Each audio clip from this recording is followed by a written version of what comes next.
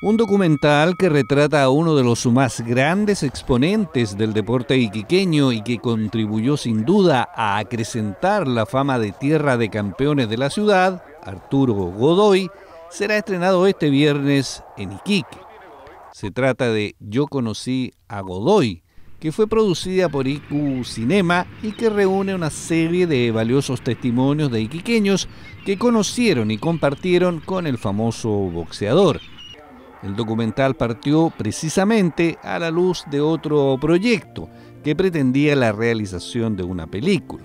Una vez realizado el teaser, surgió este documental. Y entre las grabaciones del teaser salió que uno de los personajes a los que grabamos, en la locación donde grabamos, dijo, yo conocí a Arturo Godoy. Y de ahí saltó la chispa de, hacer un documental que hablara sobre las personas que conocieron a Arturo Godoy y que lo describieran en el fondo como es. Esa es eh, la idea. El proyecto fue presentado al Consejo Regional, quienes apoyaron la iniciativa tendiente a destacar al, a juicio de muchos, más grande deportista que ha tenido la historia de Iquique.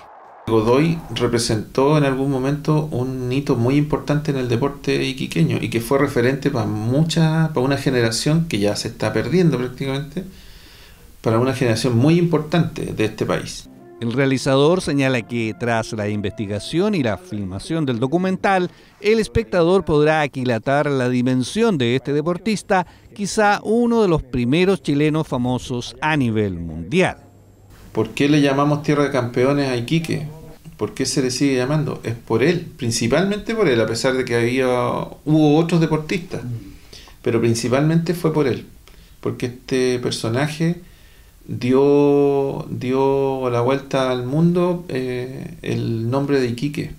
El documental será estrenado este viernes a las 9 de la mañana en Cinemark y posteriormente será exhibido al público en el Festival de Cine FISIC en noviembre próximo.